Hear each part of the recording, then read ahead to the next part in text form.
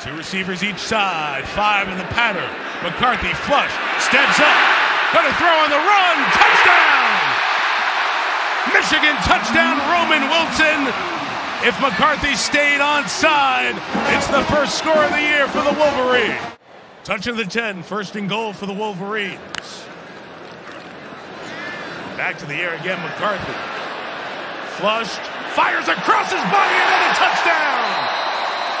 for two, scrambling to Roman Wilson. Michigan touchdown. One of them in the game right now, A.J. Barner, transfer from Indiana on third down. McCarthy looks right, fires for Wilson for the hat trick. He got it.